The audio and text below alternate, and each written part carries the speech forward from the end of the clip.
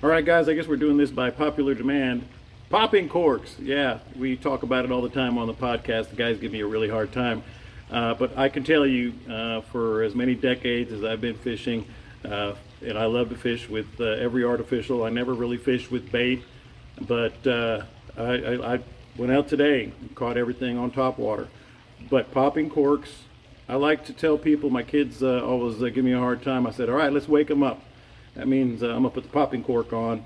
Popping cork is truly one of the best rigs uh, that you'll ever use out there. But uh, with artificials, and I'm to show you a couple of little things that I do uh, with my popping corks and how I work it, etc., etc. And uh, hopefully it'll help a little bit. It's just my opinion. It's how I do it. Uh, but I'll start with this. Uh, after I start, decide to wake them up, I start using the popping cork. My regular rig, probably 60, 70% of the time, maybe even more, is uh, a regular popping cork. Uh, I like the Paradise Popper, unpaid endorsement. It's just what I use. Got a good uh, weight on it. It's got a great uh, body and it's very, very durable. I can throw this for a long time. Now, how I rig it is uh, obviously uh, put a leader on it. I use a fluorocarbon leader on my popping cork by and large. I'll get to something else here in a second when I use monofilament. Uh, but it's uh, it's about 30 inches long, very scientific uh, with the way I uh, measure it. I'm about six foot two uh, for those.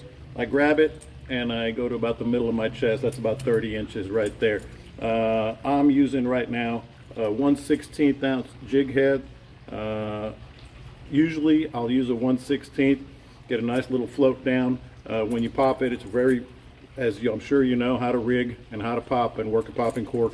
Works in all environments, works on all fish. In fact, um, I think the biggest trout I've ever caught, the one that's uh, behind me when I'm uh, recording the podcast, a 30 inch trout, was on a popping cork. So take that, Captain Dean, Captain Scott, and uh, Captain Caleb. Now, there are other ways that I, uh, other things that I do when I'm using a popping cork.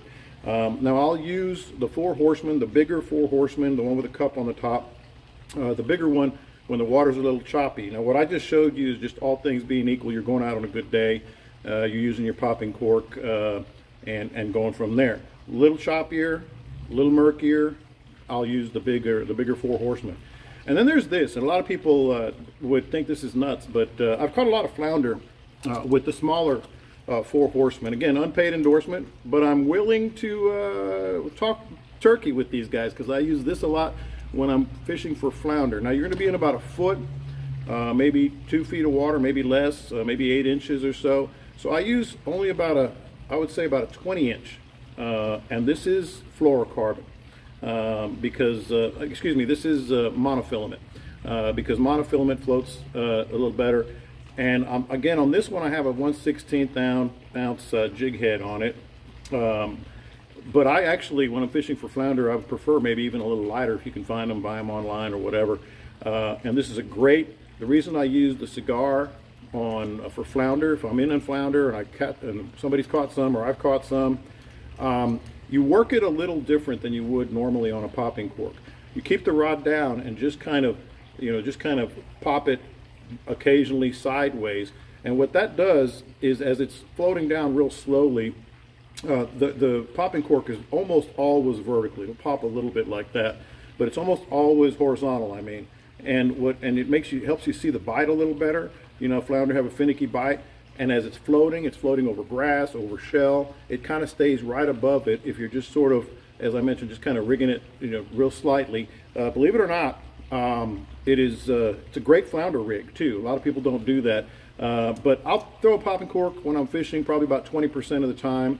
Um, I'm willing to take all the, the grief that anybody gives me because uh, it catches a whole mess of fish. One more thing on the flounder. Um, I use uh, the curly, curly tail gulp, also unpaid endorsement. so I'm just telling you how I do it. White with a chartreuse tail.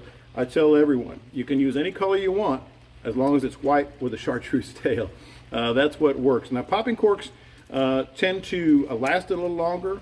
You do need to get uh, used to how to cast them. They're really easy with a spinning reel. I like to use a bait caster, and the way I cast them with a bait caster is maybe a little longer arm. Like if I'm fishing with a plastic or a top water, I'm doing this, as I'm sure you all do.